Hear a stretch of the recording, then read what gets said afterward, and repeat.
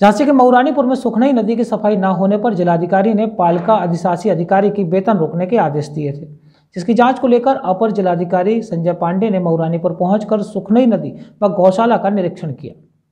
अपर जिलाधिकारी संजय पांडे ने बताया कि जिलाधिकारी के आदेश के बाद भी नगर पालिका अधिशासी अधिकारी द्वारा सुखनई नदी की समय पर सफ़ाई न करने को लेकर आज से नदी का सफ़ाई अभियान शुरू किया गया, जिसको लेकर स्थलीय निरीक्षण किया गया। साथ ही वाजपेयी तालाब का भी निरीक्षण किया गया और गौशाला की व्यवस्थाओं को देखा गया, जहाँ गाय के खाने पीने के पुख्ता इंतज़ाम को देखा गया। और क्या क्या बेहतर किया जाए, इसके लिए संबंध में चर्चा भी की गई आज मौरानीपुर में मुख्यतः नगर पालिका क्षेत्र के अंतर्गत आने वाली हमारी जो सुखनई नदी है, जिसमें आप सब भी अवगत हैं कि जल कुंडी के कारण उसमें काफ़ी जमाव जैसा हो गया है।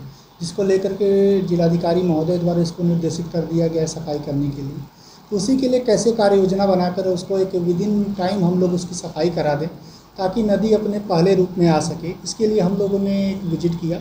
देखा गया कि उसको किस किस कार्य योजना द्वारा और कितने समय में हम उसको पूर्ण करा सकते हैं, उसका आकलन किया गया। इसके साथ साथ नगर पालिका द्वारा जो कुछ काम कराए जा रहे हैं, जैसे कि वाजपेयी तालाब का जीर्णोद्धार का काम कराया जा रहा है, उसको देखा गया। साथ ही साथ जो कान्हा गौशाला है, उसमें जो हमारे पशु रखे गए हैं, उनके रख रखाव उनके चारे की व्यवस्था, पानी की व्यवस्था व मेडिकल जो जाँच होती है उनकी डेली, वो हो रही नहीं उसको चेक किया गया। निरीक्षण के समय जो कान्हा गौशाला में कुछ पशु ऐसे पाए गए, जो जिनका उनके द्वारा बताया कि दो तीन दिनों के अंदर आए हैं, टैगिंग नहीं हुई है तो उनको बताया गया है नगर जो ईओ को। कि वो आज कल तक टैगिंग करा करके पशु चिकित्सा अधिकारी से समन्वय कर ले, उसका टैगिंग करा कर अवगत कराएँ। मऊरानीपुर से रवि परहार की रिपोर्ट।